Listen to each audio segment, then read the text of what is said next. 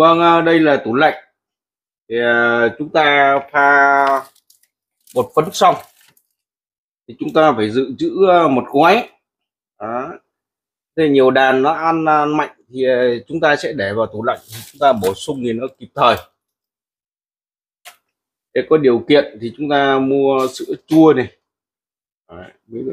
Bạn nhớ cho một hai viên xê sủi của người nhé chất chua về mùa hè giải độc cho con ong nó tốt hơn. Sữa chua hay sữa thuận ta cho đàn ong. À để trong ờ, tủ lạnh này thì ờ, nó bảo quản, nó ăn mát, được lâu hơn. Đây là cứ ờ, hai ngày. Đàn lắm đàn ăn ăn hết là phải bổ sung ngay. Chúng ta chú ý.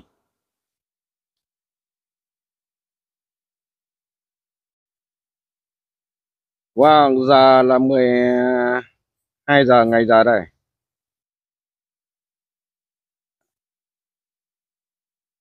Để tránh ờ, ong ờ, bốc bay thì ờ, nó cũng dễ thôi. Chúng ta chỉ có bò phấn. Kể cả đàn một cầu nha Một cầu quân đông chúng ta vẫn cứ giữ được. Ong không bao giờ bốc bay. Thì chúng ta là phải bò phấn thế thì à, cách đây à, từ hôm à, 13 14 thì tôi có quay hai cái đàn này.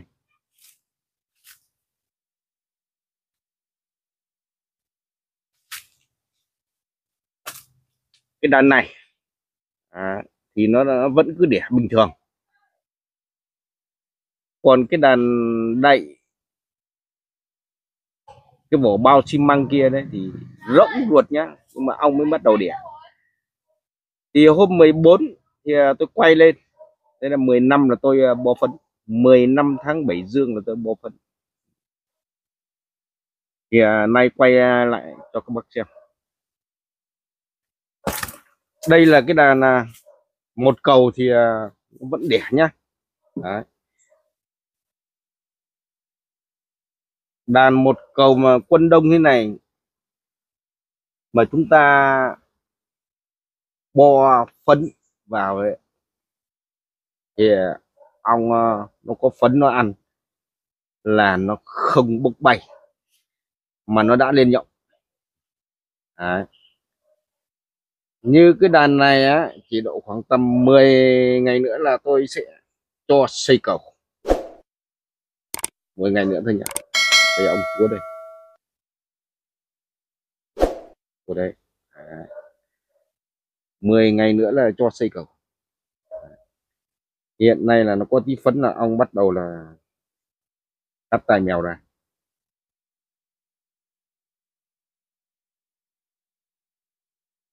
Tua hết từ đàn 1 lên 2 và 2 lên 3 chuẩn bị cho vào vụ thu đông chia đà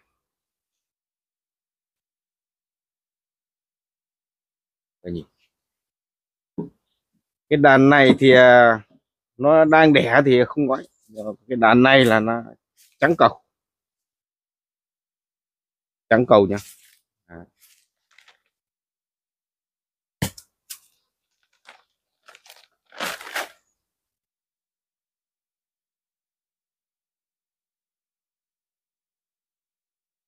tương đối độc, Đấy, chúng ta nhìn. Thì à, cũng ờ, sơ sơ là của tôi là toàn bộ một cầu là nó cũng tương đối nhiều đấy.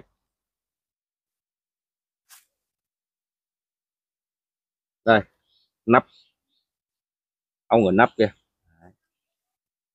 Đây. Chúng ta nhìn ong có đẹp không?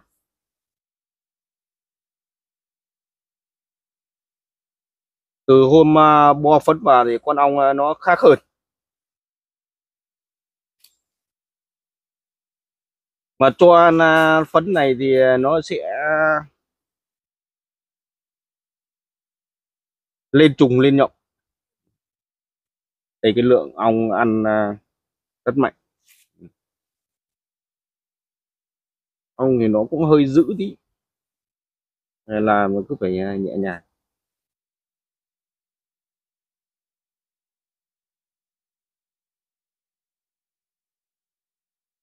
Đấy. Ăn tốt quân đông thì giờ khi mà cái đàn ong đông đó, mà đã có mật mạn rừng là đây. Cái phấn này nó lấy từ trên xuống nhá. Ong đông ấy nó vít sẵn vào nhộng chúng ta nhìn này. Đấy. đây này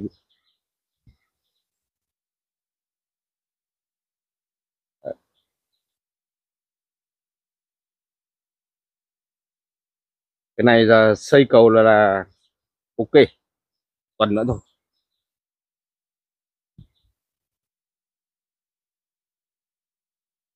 Đấy, đàn ông. Như thế này một cầu là vẫn cứ, cứ vượt được hè nhưng mà phải bo phấn. Quân đông bo phấn. Tốt. Đây quân đây. Thì ờ, chúng ta không uh, sợ gì cả Đấy còn ông uh, một là nhiều. Đây đàn này thì ba. Ông một nhiều lắm. Hai. Hai. Đấy. còn cái uh, khu này đều là ông một nhá. Mấy đàn này một. Đàn này hai hai một.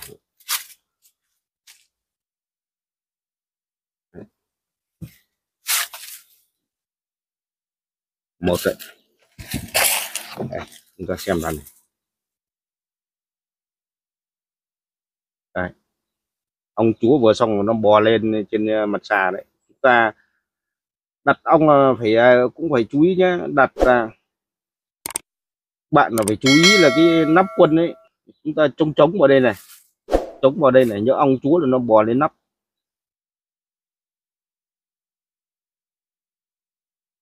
Hai cái này dẻo dẻo tí và chúng ta cho ăn ít vào để làm sao cho ba bốn hôm mà ong ăn hết là đẹp nhất.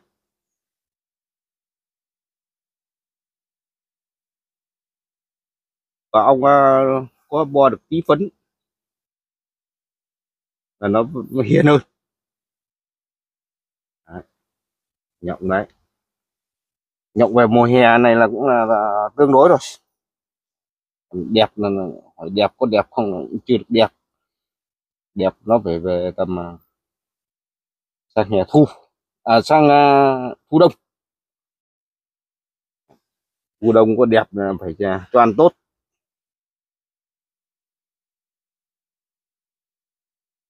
Toàn ong một nha một rất nhiều.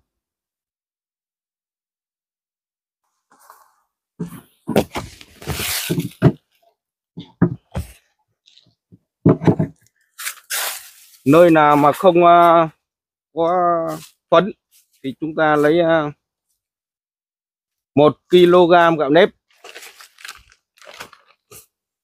5 lạng đỗ xanh chúng ta rang lên và 1 kg cám gạo và hình ảnh à, một lạng 100 g cám gạo người ta tính ra là có 300 70 calo. Các bạn phải chú ý thế nhé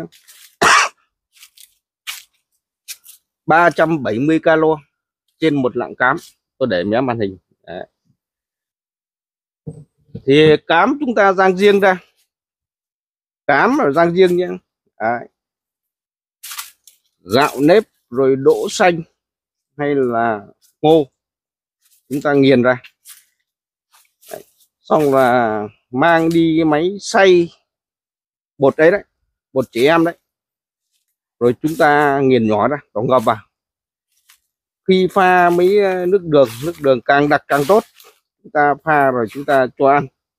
Đây là những cái vùng mà ít ờ,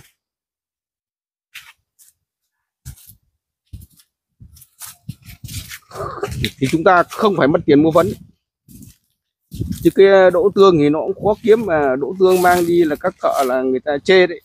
Hai ờ, bó cái máy xay của người ta. Thì nó chất dầu nó nhiều. Chất dầu nó nhiều.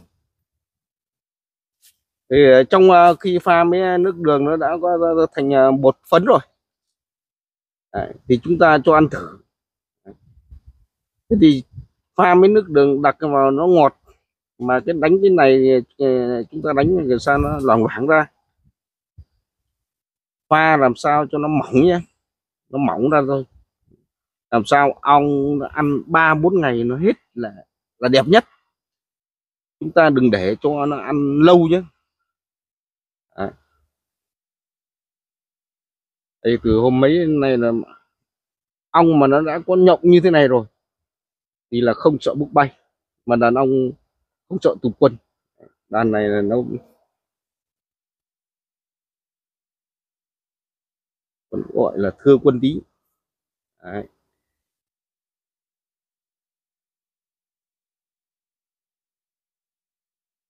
quân đông nhưng mà nó không bám cầu mấy đâu. Đấy.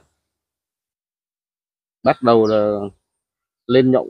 Nhộng nó lên lên từ từ thôi kết hợp ở dưới đồng bằng này chúng tôi cho ăn kích vào tí nữa là nó sẽ dần lên. Tầm khoảng 10 ngày nữa là có khi là kịch xả. Trong ờ, khi pha với ờ, bột gạo cám gạo với nước đường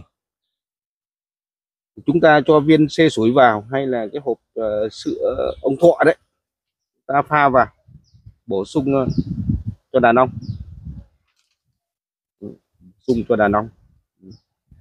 nhớ làm gì cũng phải thử. Chúng ta cho ăn bằng bột gạo đấy thay phấn đấy thì không mất tiền mua cái này nó dễ kiếm. Cũng à, uh, nha nhiều bạn là cũng à, cho ăn à, bột gạo thử rất thành công rồi đấy. Nên, nên chúng ta chú ý.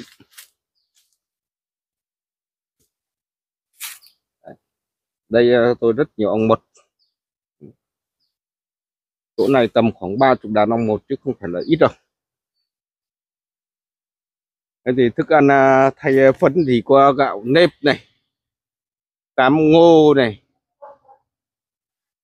rồi cám à, gạo này đỗ xanh này, rang cháu rang chín lên, rồi cho ong ăn. Ủng hộ kênh thì à, các bác, các bạn nhớ đăng ký, nhấn chuông, like, chia sẻ và để lại một bình luận phía dưới. Xin chào và hẹn gặp lại sau.